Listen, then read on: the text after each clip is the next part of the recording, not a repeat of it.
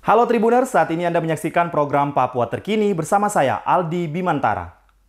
Lokasi pembangunan kantor Gubernur Papua Pegunungan tak berjalan mulus. Pemerintah hingga kini masih dihadapkan dengan penolakan dari warga setempat. Awalnya lokasi pembangunan kantor Provinsi Papua Pegunungan direncanakan berada di distrik Walesi, namun ditolak masyarakat adat Wauma, Walesi, dan Asolo Kaubal. Masyarakat dari tiga distrik ini pun bahkan sampai menduduki halaman kantor Gubernur Papua Pegunungan di Kota Wamena. Masyarakat tiga distrik sepakat bahwasanya penempatan lokasi pembangunan kantor Gubernur Provinsi Papua Pegunungan ialah inisiatif oknum tertentu yang mencari keuntungan pribadi.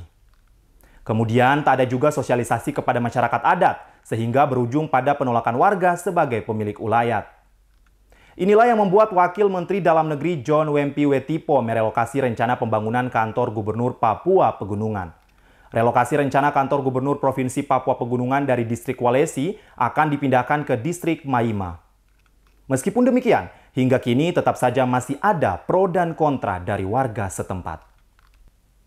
Tribuners, demikian Papua terkini hari ini. Tetap ikuti update berita lainnya di media sosial kami, di antaranya Instagram Tribun Papua Official, TikTok Tribun Papua, dan website tribunpapua.com. Akhir kata, saya Aldi Bimantara beserta kru yang bertugas pamit undur diri dari hadapan Anda. Terima kasih dan sampai jumpa. Terima kasih sudah nonton. Jangan lupa like, subscribe, dan share ya.